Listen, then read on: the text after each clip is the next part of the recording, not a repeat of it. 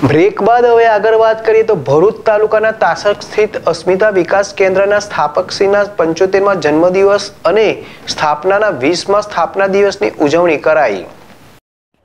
ભરૂચના ત્રાલસામાં આવેલ મનોદિવ્યાંગ બાળકોની નિઃશુલ્ક નિવાસી શાળા અસ્મિતા વિકાસ કેન્દ્ર સંસ્થાના સ્થાપક પ્રવીણભાઈ પટેલની પંચોતેરમી વર્ષગાંઠ અને સંસ્થાના સ્થાપનાના વીસ વર્ષ પૂર્ણ થયા.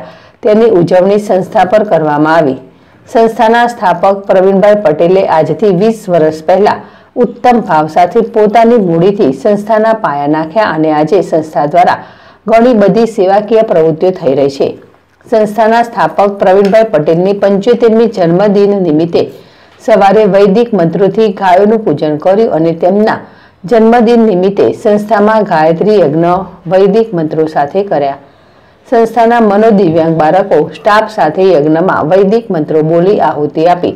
ત્યારબાદ સાંજે મનોદિવ્યાંગ બાળકો સ્ટાફ, ગામના આગેવાનો તથા સંસ્થાના મેનેજિંગ ટ્રસ્ટી પ્રણવભાઈ ભટ્ટ અને ઉપપ્રમુખ ભરતભાઈ ચુડાસમા, જિલ્લા સમાજ સુરક્ષા અધિકારી મંડોરી સાહેબ, મુનિયા સાહેબ અને તેમનો સ્ટાફ મનમંત્રી સંસ્થા ભરૂચના સ્થાપક જયેશભાઈ પરીખ, યુએસએથી પધારેલા મહેમાન વગેરે ઉપસ્થિત રહી પ્રવીણભાઈની પંચોતેરમી જન્મ જયંતિ ખૂબ ધામધૂમથી ઉજવણી કરવામાં આવી.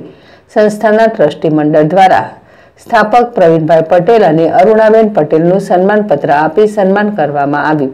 સંસ્થાના મનોદિવ્યાંગ બાળકોએ વિવિધ સાંસ્કૃતિક કૃત્યો રજૂ કરીને શુભેચ્છાઓ પાઠવી.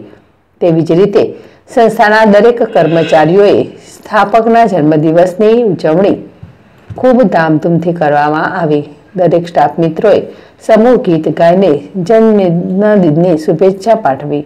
પ્રવીણભાઈ પટેલે જીવનના પંચોતેર વર્ષ સુધી સમાજને ઘણું બધું આપ્યું છે.